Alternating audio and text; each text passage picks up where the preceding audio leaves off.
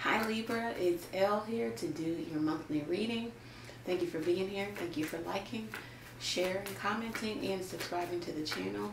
It is much appreciated. All links are below if you need to get in contact with me. Let's go ahead and jump into this Libra.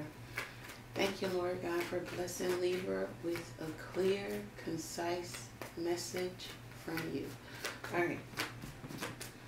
So let's see. What is the energy for you this month, Libra? Okay. Uh, judgment. All right. So an awakening. Um, making a decision, a snap decision, coming to um, clarity about a certain thing, a person, a relationship, a partnership, business, a union. Um, maybe even a coming back together. You could be making a judgment about we we're not reconciling or we're coming back together or something of that nature. But judgment is rendered, okay? And it's final here, the judgment card. Could be dealing with a Scorpio. You could be um, judging what they're doing every day on a day-to-day -day basis, their work ethic or lack thereof, something about income and money. Um, judging them based on that. Let's see. What do you need to release this month, Libra? What does Libra need to release? The Knight of Cups. Okay, so you need to release maybe... Um, so the Knights are still on conquest. They're still on a journey, okay? They're still out conquering. So maybe you need to release this restless nature about yourself in terms of love. Maybe you need to even release some unrealistic expectations in love. It says that the Knight of Cups sometimes leaves a string of broken hearts because they're so at, at the whim, at the sight of a flaw, a human error from their person, they're out the door. They're gone. They're done. They love being in love. And when the love stops, when the fantasy stops, so does the Knight of Cups. He's on to the new conquest. So maybe you need to release that restlessness about that you find with love or about love. Okay? Um, yeah maybe just very, you like the newness of love. You like falling in love here. Let's see what you need to reevaluate this month, Libra. It could be that you need to release Cancer, Pisces, Scorpio, or yeah, I don't know, something about maybe making some judgment in terms of, I don't know if it's on the best energy, if it's in the best energy, you know, the, the cups energy, I don't know. Um, we'll circle back around to that. Um, something to reevaluate. What does Libra need to reevaluate? The Five of Wands, yeah. Maybe some drama, some love affair, some petty argument. Maybe you need to reevaluate the competing goals. Uh, of maybe you and your partner um, or just altogether in your life you have too much going on uh, um, you aren't stable in terms of this relationship in terms of this love affair uh, maybe you need to release this your childlike ways or childlike behavior um, or, or vice versa this is what someone else needs to release um, or you need to release the person that is like this. Um, you need to release uh, the competition, okay? Love is not a competition, you know. Um, you need to release uh, all of these options that um, you you just keep a lot of drama and a lot of people around you maybe to feed your ego Um, it's a temporary energy. They're temporary people. You don't really want to be with them. Um, it just brings flair into your life. Drama, the dramatic effect. So some of you have a lot of, you like people fighting over you. You like a lot of attention. Something you've neglected. Something you've neglected. Something you've neglected. You also need to release like maybe some superficial ways about yourself and some okay this is what you need to release what you need to reevaluate is um yeah this competition and having all these different energies around you and you know it, it lead lending to you know excitement drama and flair in your life but where is it really getting you you need to release the battle the, the um something that is competing for your attention or someone who is competing for your attention. It could even be a third party.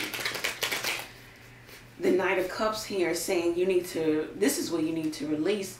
Some of you, um, you have some superficial uh, standards for your person, okay? And once they are not met, or all of them are not met, you're out of love. You're done. Um, something that you've neglected. What have you neglected this month? What has Libra neglected this month? I knew this was coming up, the Hermit card. Um, you have neglected quiet time, self-discovery, um, evaluating your own personal philosophy and one and and really determining if it's gotten you the outcome that you want. Are you getting the outcomes in your relationship in your professional work life that you really want? You know a lot of that is on you and how you show up to those arenas work love you need to re you need to um yeah you need to reevaluate yourself and um, what you have neglected is quiet time meditation reflective time um, you could also neglect you have been neglecting a virgo um, you have been neglecting to look at past experience and see where it, it, it didn't lend well to you in terms of what you did. And so you need to do the complete opposite moving forward. But you would only know that if you start to be more reflective.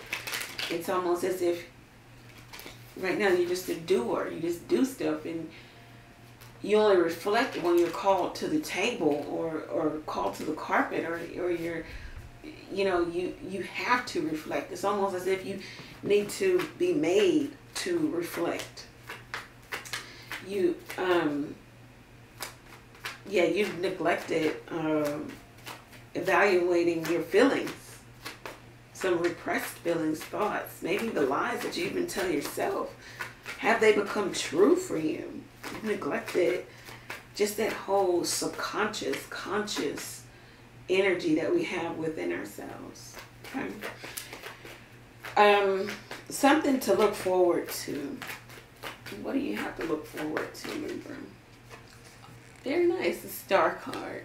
Um, healing, restoration, getting back on the right path. Okay. Um, if you got off the beaten path, you're going to get back on it.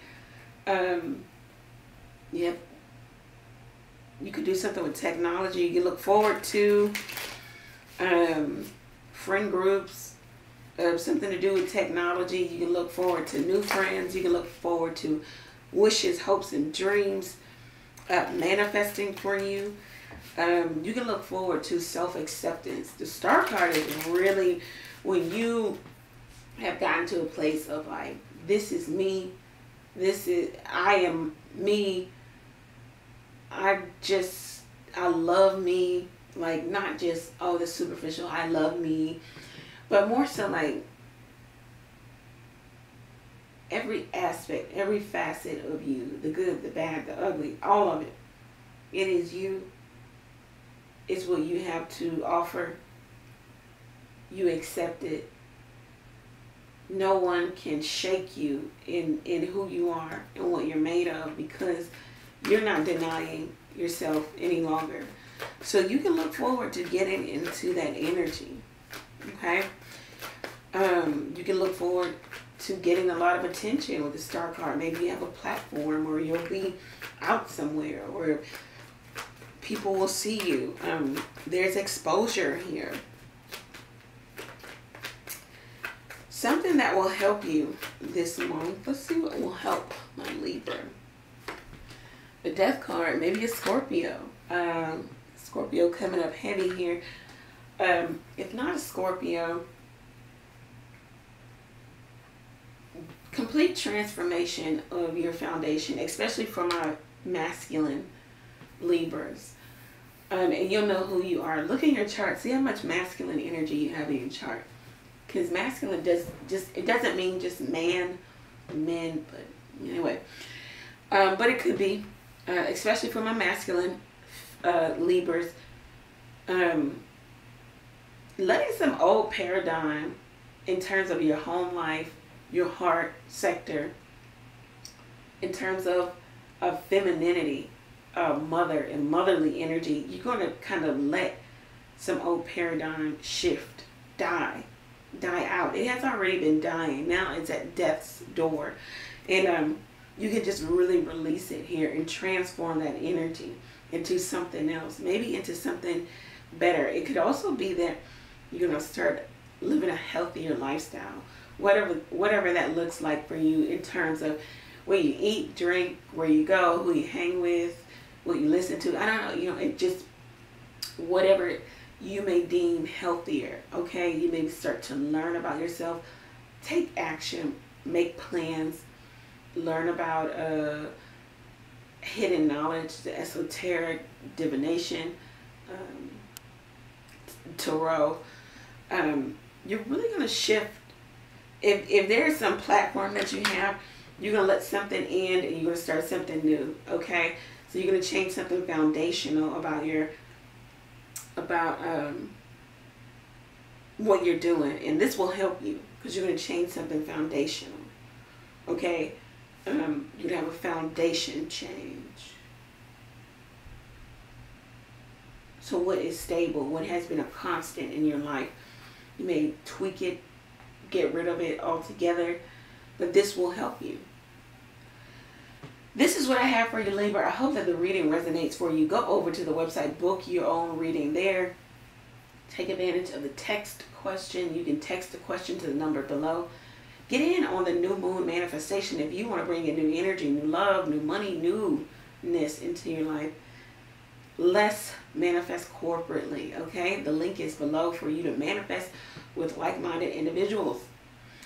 Thank you, Libra. Many blessings to you. Take care.